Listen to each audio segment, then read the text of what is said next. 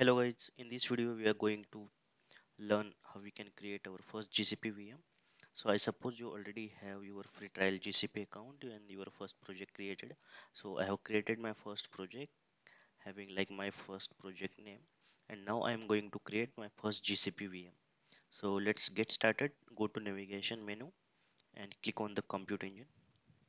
So you will land on the VM instance homepage so this is the VM instance. So currently here are no VM instance created by me in this project. So it will not show here anything. So I'll start the creation of my first VM I'll click on the create instance. So it will ask me to fill some mandatory fields.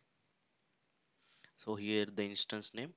So I will give as a demo instance. Okay then the label. We can give the labels for our use suppose I will give the label as an environment label and the value I will put as a dev like this is my dev machine okay? Then the region it's always preferred to use the region nearest okay? So I'll choose the Mumbai region which is Asia South 1 and there are three region three zone in the Mumbai region the South 1 C B and A.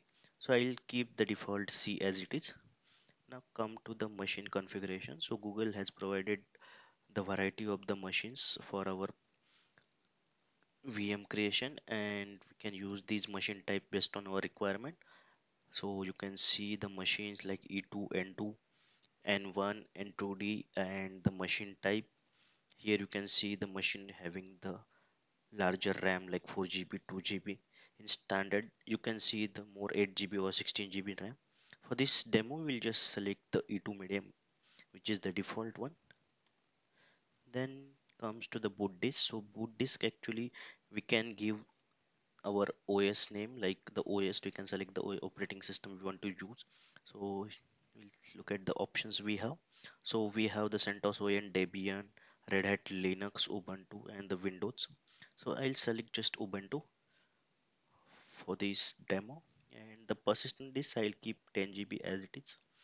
Then I'll click on select. Then here is the service account. So service account is useful to communication with the other GCP services in my projects. So I'll post the next I'll post the lecture on the service account communication soon. So for now I'll choose the default service account okay? From the drop down uh, you could see the default one okay? So I'll keep this access scope and firewall as it is. Then I'll just go to the network tab. So here are options. So network tab like suppose I'll give the demo. So these network tag will be useful while creating any firewall rule for a VPCs okay? That part will come later.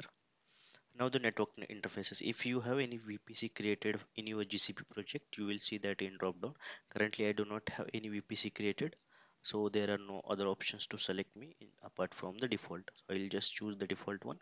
And the network default sub network is also default. The primary ip so you can choose between automatic and the custom we choose automatic. So external ip there are option to we can either hide external ip or like choose ephemeral. So we'll just choose ephemeral. Okay. And then no other option we need to do here. And so the external ip is useful to communicate apart from the gcp project like the internet. And the internal ip is useful for the communication inside your network.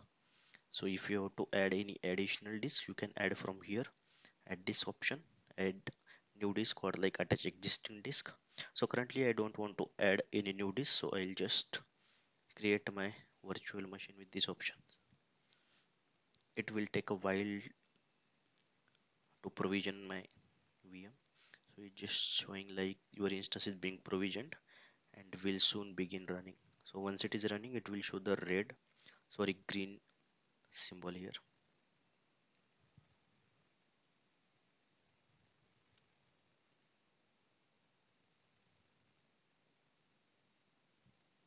Okay now the instance is running so here you can see the asia south one zone we selected then the internal ip external ip the network tags we added and the labels.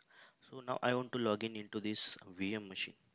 Okay so i'll just use this ssh option from here and i'll just open it browser window. Okay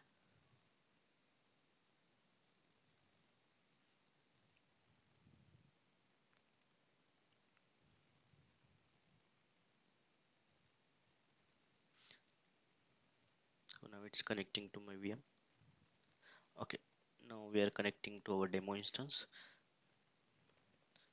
We can connect as a root as well.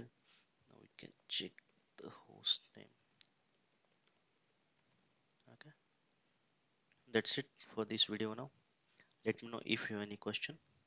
Thank you